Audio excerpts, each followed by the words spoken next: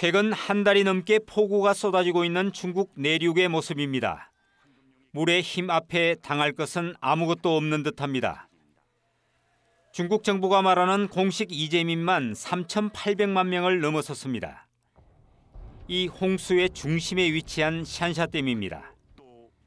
담수량만 400억 톤으로 한반도 전체 강물을 합친 것보다 두 배가 넘습니다. 당시 미 항공우주국은 이 무게로 지구의 자전축이 2cm가량 이동했다는 예측까지 내놨습니다.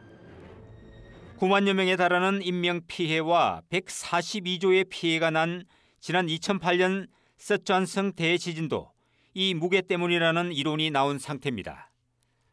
문제는 샨샤댐의 붕괴 가능성입니다.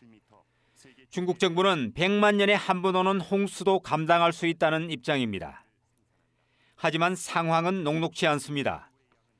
불어난 물은 홍수 통제 수위를 한참 초과한 163m까지 차오르면서 최대 수위를 불과 10m가량 남겨둔 것입니다. 댐의 물을 가두자니 상류에 피해가 불가피하고 방류하자니 큰 피해를 입은 하류 곳곳에 물폭탄이 불가피한 것입니다. 때문에 주변 댐과 제방을 붕괴시키면서 물길을 돌리고 있습니다.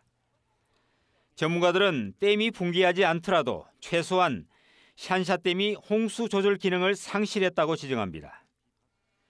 혹시라도 싼샤댐 붕괴라는 최악의 사태가 날 경우 상하이 주변의 원전 블랙아웃 등으로 한반도에도 상상 이상의 피해가 발생할 수 있다는 우려가 가볍게 넘길 일이 아닌 상황이 되고 있습니다. KNN 진지훈입니다.